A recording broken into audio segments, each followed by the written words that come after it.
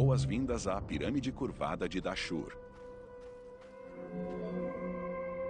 Após o fracasso da construção da pirâmide de Meidum, Snéfero transferiu sua residência e a necrópole oficial para Dashur.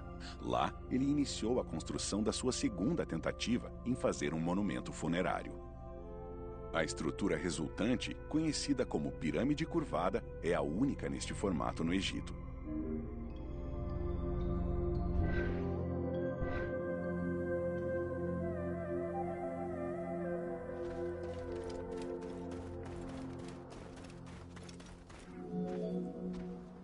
Embora também tenha se mostrado instável e tenha sido abandonada, ela marcou um grande avanço técnico e arquitetônico.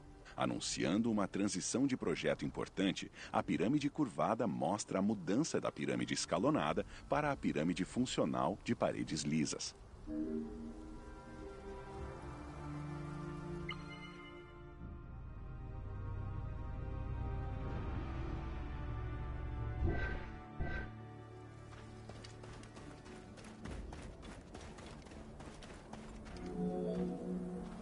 A pirâmide curvada também era diferente por ter duas entradas separadas, uma na parede norte e a outra na parede oeste.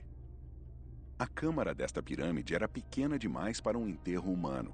Provavelmente estava destinada para o enterro de uma estátua feita para acomodar o Ka, o espírito vital do rei falecido.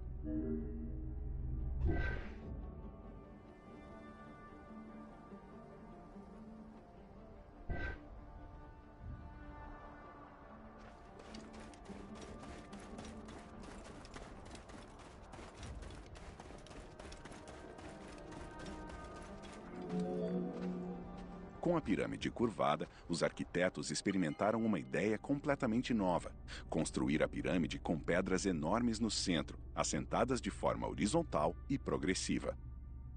Desta forma, cada fase da construção poderia ser concluída em uma etapa só, permitindo ao arquiteto controle total sobre cada elemento do projeto. Infelizmente, estas precauções não evitaram o afundamento e as rachaduras nas salas internas da pirâmide. Snéfero abandonou o monumento e começou a construção de mais outra pirâmide.